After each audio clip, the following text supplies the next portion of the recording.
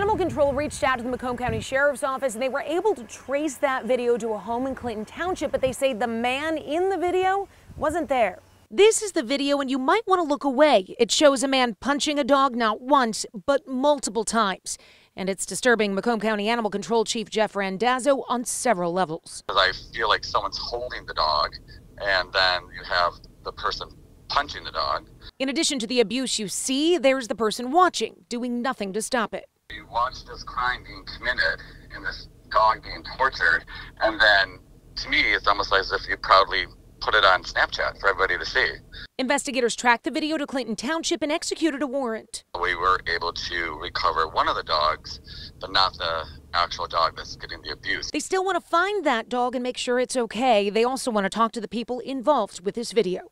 Again, if you recognize the man in that video or you know anything about it, contact police. I'm Jennifer Ann Wilson, 7 Action News.